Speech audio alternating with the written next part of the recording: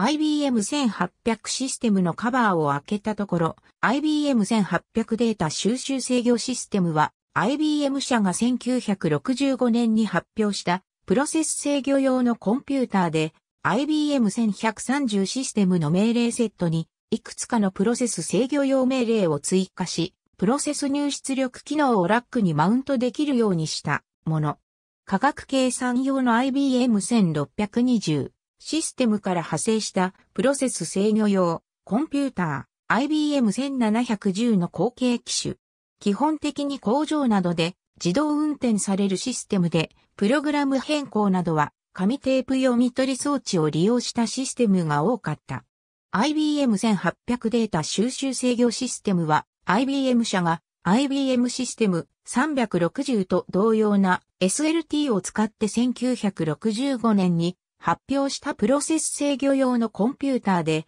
IBM1130 と同様に16ビットデータワードを基本とするワードマシンでこれの命令セットにアナログ制御用命令を追加したもの。コアストレジはサイクルタイムは IBM1801 または1802プロセッサーコントローラーでそれぞれ2または4マイクロ秒で 4K、8K、16K、32K ワードの各種モデルがあった。プロセス入出力のデジタルアナログ変換機能、アナログデジタル変換機能などをラックに容易に装着できた。IBM1800DAX は次のような機種から構成されていた。など、科学計算用の IBM1620 システムから派生したプロセス制御用コンピューター IBM1710 の後継機種で、この後 IBM システム7がこの後継機種になる。IBM1801、1802プロセッサーコントローラーと IBM2314 ディスク駆動装置は IBM のカリフォルニア州サンロゼ工場で製造された。IBM1800 はプロセス工業の工場に利用される例が多かった。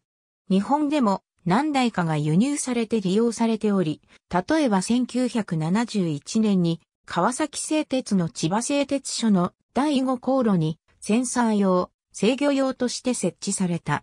特殊な用途には1970から80年代に IBM が通信衛星による通信に参入したサテライトビジネスシステムズ社の地上制御ステーションに IBM1800 が使われた。2008年11月現在、カナダのオンタリオ州ピカリングにあるピカリング原子力発電所で2台の IBM1800 システムが使われている。ありがとうございます。